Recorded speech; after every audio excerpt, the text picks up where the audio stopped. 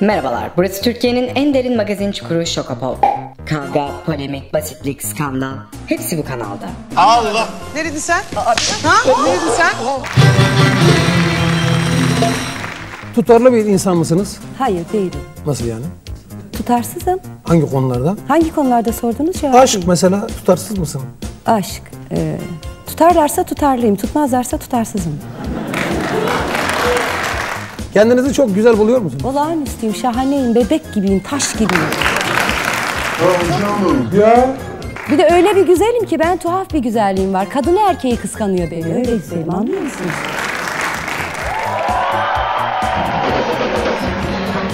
Sezen Aksu'yla sohbetimize başlıyoruz. Kendisi kraliçe olduğu için burada Cumhurbaşkanı gibi masa kurdurdu önünde. Gördüğünüz gibi kristal sürahisi, kristal bardağı ve küçük efendim kutusu burada. Ayrıca sadece bu da kalmıyor. Biz de size kraliçe muamelesi yapacağız tabii. Allah İlk razı önce olsun. hafif kaykılı falan yemek isterseniz diye. Bir tane orası böyle. anladın, anladın. Ve ayrıca da size böyle çok hoş ama eğer vantilatörde bir şey olursa yetmezse diye bir de bir yelpazeci ayarladık. Gel buraya gerizekalı. Geç şuraya oradan yelpazeli. Evet. Geçen bölümde minik serçenin doğu açılımını ve şöhretin yükünü kaldıramayan yıldızın çöküşünü izlemiştik. Bu bölümde yıldızın dibe vuruşunu ve zirvedeki serçenin yeni milenyuma hazırlık sürecini inceliyoruz.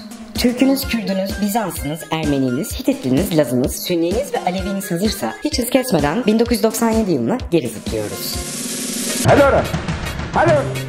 Yıllar sonra postmodern darbe ve Sibel Can'ın padişahlığını ilan ettiği yıl olarak hatırlanacak 1997'de. Yıldız'ın adı Sezen Aksu'yla bir haberde yeniden kesişiyor. Bu haber yönetmenliğini Mustafa Altıoklar'ın yaptığı ve başrolünde Müjde Ar ve Okan Bayülgen'in oynadığı Ağır Roman filmiyle ilgili. Atilla Özdemiroğlu ve Aysel Gürel'in imza attığı filmin şarkılarını okuması için önce Sezen Aksu seçiliyor. Fakat Minik Serçe şarkıların sözleri bana ait olursa okurum dediği için Aysel Gürel'le madileşince projeden çekiliyor. Sezen Aksu yerine Yıldız Tilbe'nin ismi zikrediliyor. Lakin bu tercihte uzun soluklu olmuyor ve filmin şarkılarını okumak sonunda Kınalı Bebek Demet Sağaroğlu'na nasip oluyor.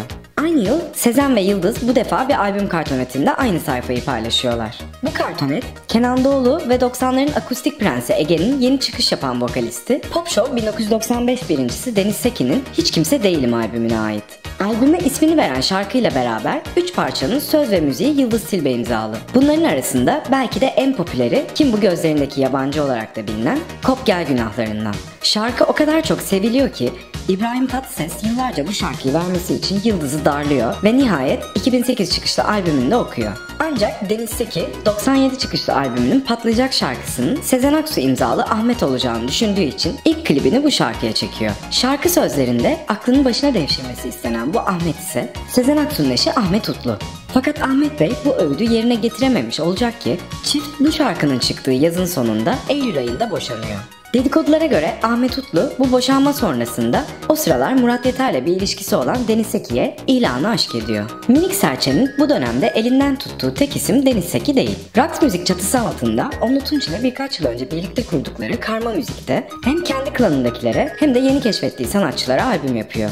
Bunların arasında daha önce bir televizyon programında görüp beğendiği ve ardından prodüktörü olduğu Şebnem Ferah'ın ilk iki albümü, Göksel'in ilk albümü Yollar ve Sinan Erkoç, Yaşar Gaga gibi isimler de var. En eski ve sadık çömezlerinden Levent Yüksel de Medcezir sonrası albümlerini bu şirketten çıkartıyor. Yaşadıkları sağlık problemlerinin ardından ayrılmaya karar verdikleri eski eşi Sertab Erener, klanının geri kalanından farklı bir rota çiziyor. Boşandıktan sonra Pentagram grubunun gitaristi Demir Demirkan'la birlikte olmaya başlayan Sertab, 1997 çıkışı 3. albümü Sertab Gibi'yi Karma müzik yerine Sony müzikten çıkarmayı tercih edince Minik Serçe ile Madi oluyorlar ve Sezen Aksu Sertab'ın lansman partisine katılmıyor. Minik Serçe yetenek avcılığına devam ederken kendi kariyerini de ihmal etmiyor. 1996 yılında başkalarına verdiği şarkılardan ve iki yeni parçadan oluşan Düş Bahçeleri albümünü yayınlıyor. Albümdeki yeni parçalardan Seni Yerler, daha önce Sibel Tüzün'ün okuduğu Kaçın Kurası ve Av şarkısıyla arasını açan Yarası Saklım, dinleyicilerden artı puan alarak Serçe'nin gücüne güç katıyor. 1997 yılının Aralık ayında yıllardır planladığı uluslararası piyasaya açılma emellerini gerçekleştirmeye yönelik bir albüm çıkarıyor. Çingeneler zamanı gibi Emir Kusturica filmlerinin müziklerini yapan Yugoslav müzisyen Goran Bregovic ile çalıştığı Düğün ve Cenaze albümünü dinleyicilerle buluşturuyor. Albümdeki parçalar Bregovic'in eski bestelerin üzerine Minik Serçe ve BFF'leri Merloka ile Pakize Barıştan'ın yazdığı sözlerden oluşuyor. Albüm o güne kadar en az satan albüm olsa da Minik Serçe popülaritesinden hiçbir şey kaybetmiyor. Bu dönemde taze divorce Minik Serçe'nin adı yetenekli olduğu kadar yakışıklı da olan Bregovic ile aşk dedikodularına karışıyor. Düğün ve cenazeden sadece bir yıl sonra Adı Bende Saklı albümü çıkıyor. Bu albümdeki Tutuklu büyük bir hit olurken albüme adını veren Adı Bende Saklı ileriki yıllarda beste hırsızlığı iddiaları üzerinden Serçe'nin başını ağrıtıyor. Sezen'in adı kendisinde saklı kişilerde tutuklu kaldığı bu günlerde profesyonel yaşamında üst üste kayıplar yaşayan Yıldız Tilbe bir de üstüne özel hayatında yaşadığı kayıplarla tam anlamıyla dibe vuruyor. İzmir'de elinden tutan ilk isim olan Cengiz Özşeker korkunç bir cinayete kurban gidiyor. Cengiz Özşeker öldürüldüğü sırada üzerinden yıllar geçmiş olmasına rağmen masasında hala Yıldız'ın resmi duruyor. İleride Çabuk Olalım Aşkım şarkısını yazacağı, yıllarca küs kalıp ünlü olduktan sonra barıştığı babasını da yine bu dönemde kaybediyor. Ardından hem menajeri hem dert ortağı olarak nitelendirdiği Ajda'nın ve Ayşegül Aldinç'in de menajeri olan Anuş Bakış trafik kazasında hayatını kaybediyor. Bu kayıpların üzerine Yıldız 16 Şubat 1999 tarihinde tekrardan uyuşturucu ile yakalanıyor ve tutuksuz yargılanmak üzere serbest bırakılıyor. 1999 yılının ilk aylarında Yıldız İstanbul'un tenha barlarında androjen manken Ferhat Şirin gibi lokal selebritilerle sahne alırken Kraliçe Sezen Aksu Ortaköy Onyx Bar'da haftanın 3 günü sevenleriyle birlikte oluyor. Magazin tarihinin karanlık sayfalarında yerini alacak 20 Mart 1999 gecesi Minik Serçe'nin Onyx'teki konukları arasında dostları, sosyetenin önde gelen isimleri ve 7 sene önce klandan kovulan Yıldız Tilbe var. O gece bu duygusal ikilinin en melodramatik karşılaşmalarından biri yaşanıyor. Ancak nedense bu karşılaşma matbaada, radyolarda ve ekranlarda pek gözükmeden gecenin kanatları altında gizli kalıyor. Öyle ki magazin tarihinde kendini ancak kıyıda köşede yer edinebilmiş bu gece hakkında basına yansıyanlar arasında ufak tefek farklılıklar var. Haberlere göre aşırı sarhoş, kendi iddiasına göre yalnızca iki duble viski içmiş olan Yıldız, Sezen tarafından sahneye davet edilerek veya aniden sahneye atlayarak mikrofonu kapıp bir şarkı söylüyor. Ardından bir şarkı ve bir şarkı daha. Yıldız'ın sahnesinde konser vermesine sinirlenen Minik Serçe önce Yıldız'ı sahneden indiriyor ve ardından alkollü olduğu gözlenen ve taşkınlık çıkaran Tilbe'yi çıkarın şunu dışarı diyerek korumalarını yaka paça dışarı attırıyor. Tilbe bindiği arabasıyla Sezen Aksu'nun minibüsüne vurup daha sonra gecenin karanlığına karışıyor. Bir görgü tanığının iddiasına göre Yıldız sadece bir şarkı okuyor. Fakat bunu yaparken Sezen'in yüzü gözü dahil her yerini erotik bir biçimde okşuyor ve şarkı bitince sahneden inip ben seni çok seviyorum sen beni unuttun diye bağırıyor. Tüm bu iddialarda ortak nokta Yıldız'ın öyle ya da böyle bir şekilde dışarı atılmış olması. Olayın ertesi günü Yıldız Taksim Sanat Evi'nde darp izlerini gizlemek için giydiği siyah eldivenleriyle basın açıklaması yapıyor ve olayı kendi gözünden anlatıyor. Sadece iki duble viski içtiğini, Sezen Aksu'nun daveti üzerine sahneye gittiğini ve ardından Minik Serçe'nin kendisini kulise çağırdığını söylüyor. Kulise giderken 1.90 boyundaki iki kişi tarafından hırpalanarak dışarı atıldığını anlatan Yıldız, mekan çıkışı korkudan eve dönemediğini, motosiklet ve arabayla takip edildiğini ekliyor. Ancak iyi bir sürücü olduğu için peşine dolan arabaları atlattığını söylüyor. Sezen Aksu'nun artık kendisi için var olmadığını ve Sezen Burçin olan kızının ismini Burçin olarak değiştirdiğini söylüyor. Beni resmen hırpaladılar. Dudağımı patlattılar. Ben Sezen gibi ordu ile dolaşmıyorum. Bana yapılanlar insanlık suçudur diyor ve basın toplantısını noktalıyor. Minik Serçe'nin bu olay üzerine yaptığı yorum ise 15 yıldan fazla bir süre zarfında Yıldız hakkında son demeci oluyor. Olaydan bir hafta sonra Hürriyet'e verdiği röportajda Yıldız'la ilgili bir soru gelince Minik Serçe beni konuşturma Yener. Yıldız'ın zarar görmesini istemiyorum diyerek yüce gönül şov yapıyor. Ardından Yıldız'ın zor bir dönemden geçtiğini ve kısa vakitte toparlanmasını dilediğini aktaran Serçe, Yıldız'ın hayatımdaki kredisi sonsuzdur diyor. Bazen elinden tutup getirdiği minik çocuklar büyüyünce asileştiler. Ana yüreği derler ya. Belki Sezen de af kapıları arıyordu sonsuzlarda. Yıldız Tilbe ile yaşanan bir tatsızlık. Onun ardından hiç konuşmadınız. Ee, Ne söylemek istersiniz? Biraz önce de söyledim hayatın içinde e, o bir andır. Hepimizin zor dönemleri oluyor. Çok sarsıntılı bir ruh hali içinde olduğunu hissediyorum. Zaten e, biz onunla sık sık görüşürüz şu son e, olaya kadar. E, bir şey yok. Sanıyorum bir yanlış anlamı oldu onun için. E, hassastı, çok hassastı o. Ee, eminim ki aklı başına geldiğinde gerçekleri zaten hatırlamıştır. O yüzden e, bu konuda konuşulacak, söylenecek her şey e, onu zedeler, ilişkiyi zedeler. Ben bu kadar büyütmüyorum bu olayı. Yıldız benim için kıymetlidir, kıymetli olmaya devam edecek. Sezen Aksu 1995 yılında Tempo dergisine verdiği röportajda Yıldız'ın acı çeken ruh halini genetik acıya yormuş ve şunları söylemişti. Hiçbir şeyin farkında değil. Nedenini bilmeden acı çekiyor. Acayip bir duygusu var. Hayvani hatta. Onyx Bar olayının üzerinden henüz birkaç gün geçmişken İbrahim Tatlıses'in haftalık magazin gazetesi İmparator, Sezen Aksu'nun dağıttığı bir gecenin görüntülerini yayınlıyor.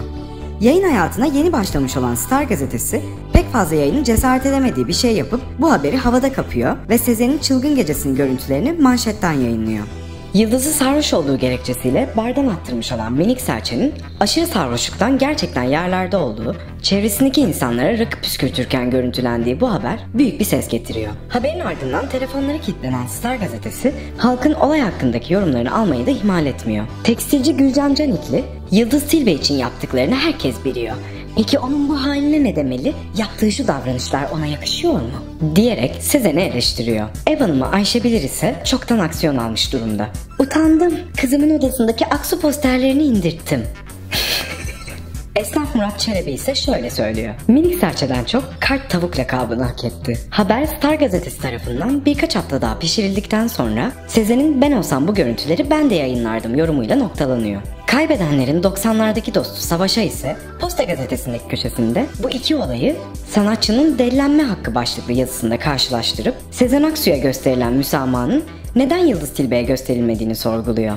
Yıldız ise olay sonrası dostları tarafından teselli edilerek sahnelere kaldığı yerden devam ediyor. Artık androjen manken Ferhat Şirin olmaksızın devam ettirdiği İnadına Bar'daki sahnesinin konukları arasında o gece sanat ve sanatçının dostu modern Medici Semra Özel de var. Yıldız Selami Şahin'in süper hiti Özledim'i söylemeye başlayınca bu duygu seli parça karşısında hüzünlenen Semra Hanım maziye dalıyor ve Tonton'un hatıralarıyla hüngür hüngür ağlamaya başlıyor. Hadi bir kaset koy da şöyle bir neşelenelim Semra Hanım.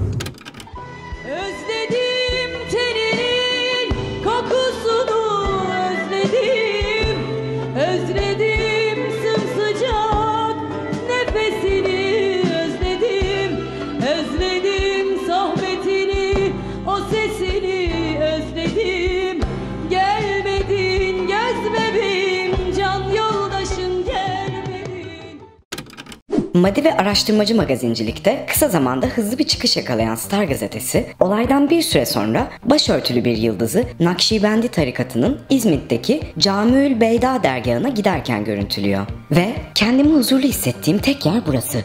Bari burada rahat bırakın diyen yıldızın dergaha uyuşturucudan kurtulmak için çorba içmeye geldiğini öğreniyor. Ancak Star muhabirlerinin sıkıştırmayı ihmal etmediği Yıldız iddiaları reddediyor ve akrabası olan imamın ziyarete geldiğini söylüyor. Araştırmacılığı kadar inatçı tavrıyla da dikkat çeken Star gazetesi ise işin peşini bırakmıyor ve bu dergaha başka ünlülerin de bağımlılıklarından kurtulmak için geldiğini öğreniyor. Ancak bu ünlülerin isimlerine haberde yer verilmiyor. Onyx hadisesi sonrası yeni milenyuma girerken Yıldız Sıfır'da turkishmusic.org'daki internet tarihimizin ilk kavgalarından birine konu olan Minik Serçe ise zirvenin tadını çıkarmaya devam ediyor. 90'ların sonlarında elinden tuttuğu Emre Altuğ, Işın Karaca, Göksel, Şebnem Ferah gibi isimler listeleri mesken tutmuşken birkaç yıl sonra Avrupa Fatih olacak Sertab Erener kendi kanatlarıyla uçuyor. 2000 yazı başlarken albüm kartoneti için makyajını çıkaran Sezen Aksu, Deli Veren albümüyle dinleyenleri ve yeni milenyumu karşılıyor. Albümün klip parçalarından Oh Oh, Sezen Aksu'nun alışıldık tarzında toplumsal meselelere sulu ve muzip bir bakış açısıyla değinirken Keskin Bıçak ve Sarı Odalar klasik Sezen Aksu slowları olarak dillere düşüyor. Marmara depremi sonrası İstanbul'u terk eden Yıldız bir müddet kayıplara karışıyor. Bursa, Adana, Eskişehir gibi şehirlerdeki barlarda sahne almaya başlıyor ve kendisini yakalayabilip röportaj yapan gazetecilere artık Sezen'i övmüyor. 2001 yılında Amika dergisine verdiği röportajda Şebnem Başkan'ın Sezen Aksu ile geçen kılan yılları için sorduğu sorusuna şöyle yanıt veriyor. Başkasının ya sırtında uçarsın ya da seni altına alıp bohça gibi tutar öyle uçarsın. Allah bana kanat vermişse kendi kanatlarımla uçarım. Ama 100 metre ama 100 milyar kilometre. Kanadın yoksa zaten uçamazsın. Saçma. Elin sikiyle gerdeğe girilmez yani özür dilerim. Yıldız bu dönemde eski bir klan arkadaşıyla bir şarkı üzerinden madileşiyor. Aşkın Nur Yengi'ye 1997 tarihli Haberci albümü için Bir Benim Ol adlı şarkıyı veren Yıldız, şarkıyı stüdyoya yarım yamalak gönderiyor. Şarkının kalan kısımlarını Aşkın ve albümün prodüktörü İskender Paylaş beraber tamamlıyorlar. Fakat Yıldız çıkan sonucu beğenmemiş olacak ki basına Aşkın şarkının piç etti şeklinde bir demeç veriyor. Aşkın ise soğukkanlı duruşunu koruyup problem değil kızmıyorum. Yıldız piyasada değilken müziği bilmezken biz buralardaydık yanıtını veriyor. Yıldız 2001 yılında röportajlarında gördüğümüz pesimist ve determinist ruh halini yansıtan Gülüm albümünü çıkarıyor. Albümün kartonet çekimlerini henüz Gülben'in kankisi olmamış çiçeği burnunda fotoğrafçı Nihat Odabaşı yapıyor. Genel tonuyla depresif sayılabilecek bu albümde yer alan Aşkın Ceza mı parçası beklenmedik bir patlama yapıyor. Bindere'den Su Getirsen ismiyle de bilinen bu parçayı Yıldız önce patronu İbrahim Tatlıses'e vermek istiyor. Fakat İbrahim Tatlıses'in anlattığına göre İbo ilk albüm satmayan Yıldız'ın bu şarkıyı okumasında ısrar ediyor. Patronu İbrahim Tatlıses'le inişli çıkışlı bir ilişkisi olan Yıldız bu patlamayı değerlendirip Avrupa müziğe geçiş yapıyor. Avrupa müziğe geçtikten sonra İbrahim Tatlıses ve İdo Bay'ı da bombalamaktan geri durmuyor. İbrahim Bey'in yanında mutsuzdum çünkü beni istemiyordu. Albümüm satmadığı için o da beni sattı diyor ve arkasında bıraktığı şirkettaşları Ebru Yaşar ve Kader'in de çok mutsuz olduğunu ekliyor. Yıldız çok mutlu olduğunu dile getirdiği bu yeni şirketinde ona delikanlımdan sonra ikinci çıkışını yaşatacak ve onu tekrar Türkiye'nin yıldızı haline getirecek albümünü çıkarıyor. 75 yılında başladığı müzik hayatında gümbür gümbür geçirdiği 2-10 yıl ardından yeni milenyuma giren Minik Serçe ise tahtını ve tacını tek başına korumak zorunda. Evet.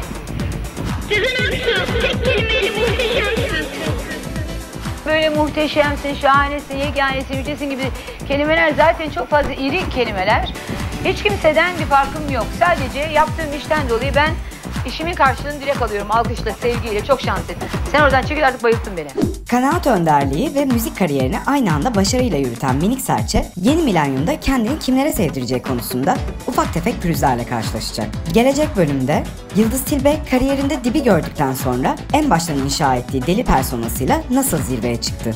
2010'lu yıllarda Yıldız Tilbe ve Uzay Haparı hadisesi nasıl yeniden hortladı? Sezen Aksu yaptığı açılımlarla Anadolu'da nasıl servis ablalığa başladı? Ayrıca Emel Müftüoğlu Yıldız Tilbe polemiği, Seyhan ve büyük buluşmada yine bu videoda. İzlediğiniz için teşekkürler. Beğenmeyi, yorum yapmayı ve Şok Okula'na abone olmayı lütfen unutmayın. Gelecek videolarda görüşürüz.